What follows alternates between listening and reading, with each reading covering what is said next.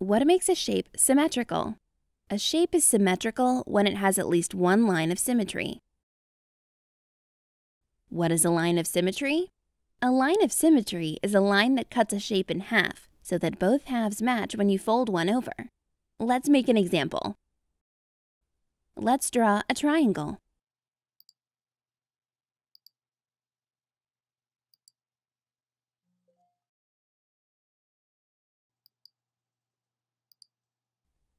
Now let's put a line on the triangle. If we can fold the shape over so that it matches the other half exactly, we have a line of symmetry. Let's trace over the shape on the top side of the line.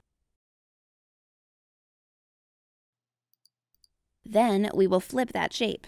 If we drag it over, does it match? No. So this is not a line of symmetry.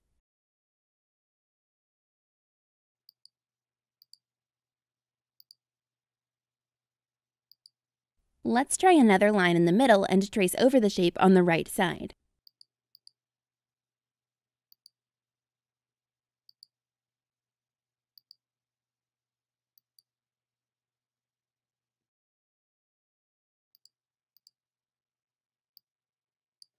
Now let's flip it and see if it matches the other side.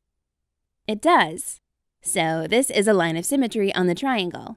And because this triangle has a line of symmetry, it is symmetrical.